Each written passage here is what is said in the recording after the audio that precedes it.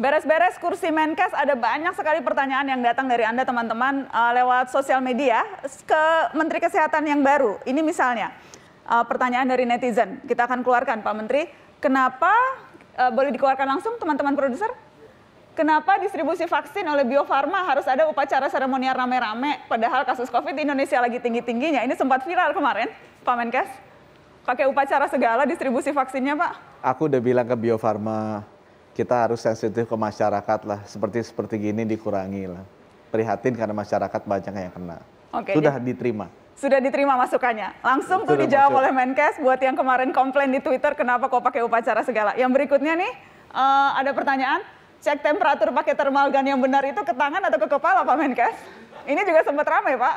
Sempat ramai. Saya tanya ke dokter, arterinya tuh ada yang temporal, ada yang di tangan, dia sebutin apa, sama aja sebenarnya boleh juga di tangan, banyak contohnya juga di tangan. Cuma yang penting jangan takut di kepala karena radiasi, karena sebenarnya nggak ada apa-apanya itu. Jadi kalau saya tanya beberapa dokter, di tangan atau di kepala sebenarnya sama. Sebenarnya sama, tapi yang jelas tidak ada ceritanya di kepala akan kena radiasi. Kena radiasi, itu, itu yang jadi bahan ketawaan orang-orang. Oke, jadi oke. Ini yang berikutnya lagi uh, lucu-lucu nih Pak uh, dari Menkes. Pak Menkes jangan hilang ya, kami rindu punya Menkes. Ya aku kan duduk di kursi ini. Dan tidak akan hilang-hilang lagi ya Pak Menteri? Ya, itu Tidak akan hilang-hilang? Insya Allah enggak, kecuali Pak Jokowi yang menghilangkan. Yang bisa menghilangkan kan Pak Jokowi. Oke. Okay. Ya. Uh, keserius Pak soal yang ini.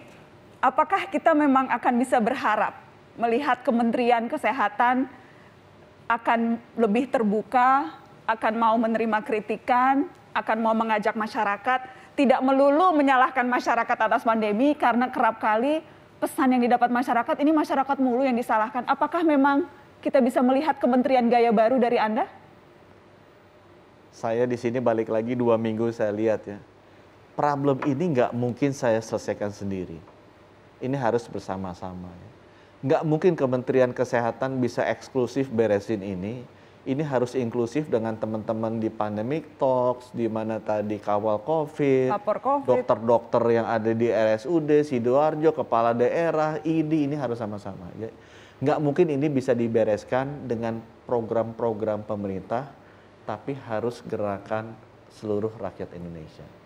Dan untuk itu kita perlu memanfaatkan, menggunakan seluruh modal sosial yang ada.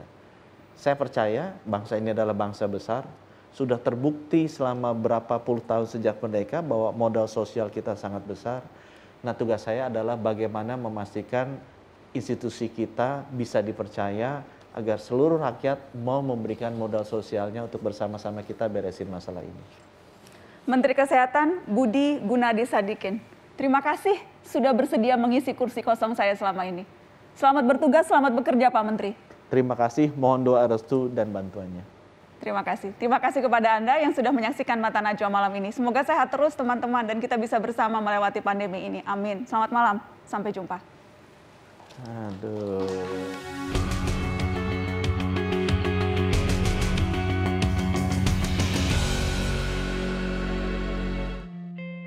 Setahun sudah manusia menghadapi pandemi corona, sungguh sangat banyak pelajaran yang telah kita terima.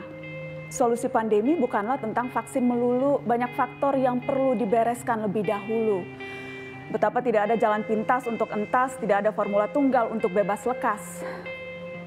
Virus ini niscaya akan terus merajalela jika egoisme menguasai sebuah bangsa. Kepemimpinan yang mumpuni, warga yang sadar bahaya pandemi berpadu jadi agenda satu negeri. Dipandu oleh ilmu pengetahuan, diarahkan oleh solidnya kebijakan, dieksekusi pemimpin dan warga berbarengan. Sudah terlalu lama pandemi disikapi serampangan. Sudah terbukti kita juga yang akhirnya kelimpungan. Mari menyongsong saat-saat genting yang sudah terlanjur tiba. Bersama juru kapal baru yang semoga amanah menjaga kita.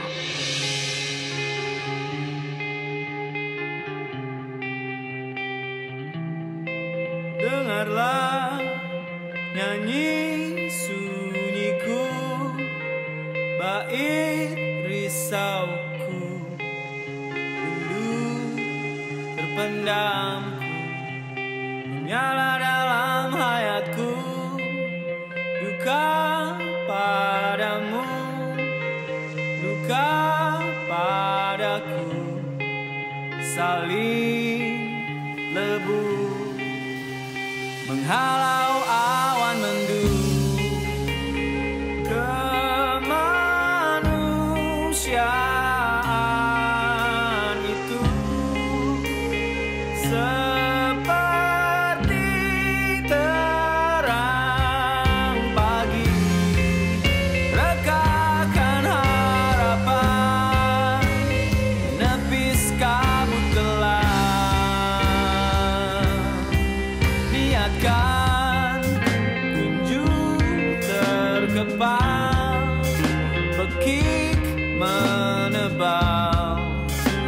job.